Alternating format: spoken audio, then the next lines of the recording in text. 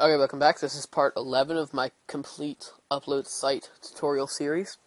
And in the last video, we continued on with our uh, login, uh, our login, our user login, and uh, we've uh, started our actual uh, scripting with PHP, and we've checked to make sure that a username and password have been supplied correctly, and so if you can really type in anything at this point.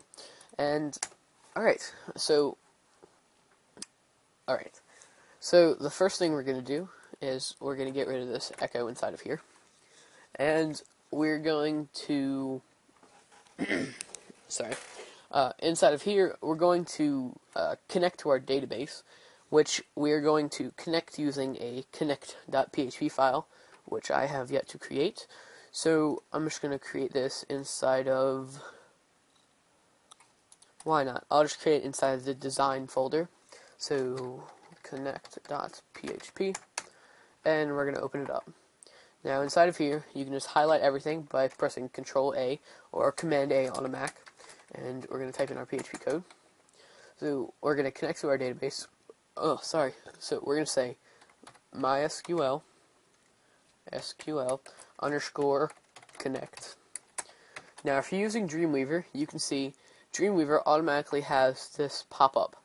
So, the first thing your uh, connect statement needs three parameters your host name or server name, uh, your username, and your password.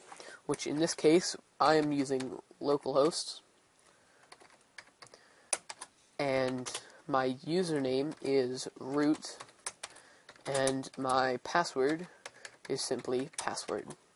And that is because I film tutorial series and I don't want to show you guys my password. Um, so next thing we need is we need to select our database. So MySQL underscore select underscore DB. And you can see if I backspace this, you can see right here the database name that uh, uh, Dreamweaver throws up there. So the database name that we created is upload site or at least that's what I called it. There's no four. Angry. There we go. So this script connects to our database. So that's really all we need to type in there. That's really all we'll ever open that for. So in here, we're going to require, and this is going to be our uh, connect file, which is inside of the design folder, and it's called connect.php. So, right there. So that connects to our database. Now what we need to do is we need to create a query, and we're just going to call it query. And we're going to set it up inside of a variable. So we're going to say MySQL underscore query, and right here. So our query is, the first thing we're going to run for our query is to make sure that a username is found um, inside of the database. So we're going to say select, we'll say select star or asterisk, uh, which means select all, from our database table right here, which is called users. And then we're going to say where username equals right here. And this is our user variable, so dollar sign user. And then we're going to say and uh, password equals our dollar sign password, so our password variable. Now, before we do this, what we need to do is we need to encrypt our password because we've already inserted it into our database using the MD5 encryption. So we'll just say MD5, and in here we just type in dollar sign password. So we're going to encrypt our password variable, and we're going to store it in the password variable. So it'll automatically encrypt it.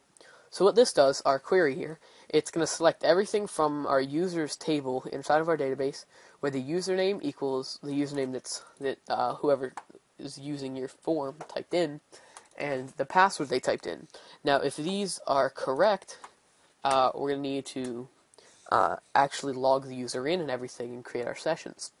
So we're going to run we're going to uh, create another variable called numRows, and we're going to set it equal to MySQL underscore num underscore rows. Now what this does is it simply gets the number of rows that are returned for our query. So you just type in your query variable. And we're going to say if uh, dollar sign num rows uh, equals equals 1. So if the number of rows that are returned is equal to 1, which means that one user was found with the username and password, which means the username is found. Uh, and we're also going to put in an else. So if the username is not found with the correct password, we're going to simply echo, and we're going to say, better yet, I will just copy this so we have our center. And we'll say, uh, username not found with that password. I guess that's what we'll say.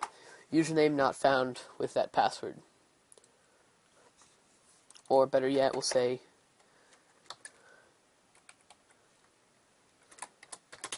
no username found with that password. So if the username is not found inside of our database table, which right now the only one in here is BasixNick, um, so if the username is not found with the password that is in here, which in this case is just password, um, then we're going to display this error. Now if the username is found, that means that correct information has been supplied, which means we're going to actually log the user in. So we're going to type in session underscore start and just like this. So this is physically starting our session. Now, this uh, website is going to be session based. So after a little while, uh, each user will automatically be logged out, which actually it might be when they leave uh, the page or the website for that matter. Uh, so yeah, so right here, uh, we're going to, or actually, better yet, we will get the actual username of the date of the username is uh, supplied, we will get the actual username from the database. So what this will include is it will include uh, all capital letters instead of just the lowercase letters that the user probably typed in.